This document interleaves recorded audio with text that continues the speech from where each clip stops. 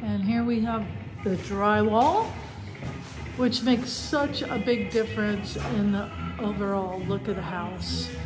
Fireplace. And the kitchen sink. The kitchen. And this is gonna be Tim's office.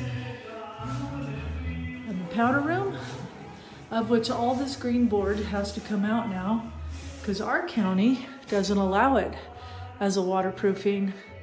They now want uh, fiberglass or DensGlass or something like that. Of course, something more expensive. So anywhere there's green board behind the kitchen sink, you're gonna have to take it out. Here's the master, which by the way, with my vintage door, which I love. And you can't see out the windows because they're all taped up. But here's the master bath of which all this green board is now gonna have to be removed.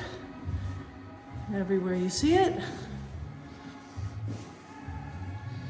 And then we've got the master closet. So that gives you a little feel. I mean, there's more to go, but that gives you a feel of the drywall process being done.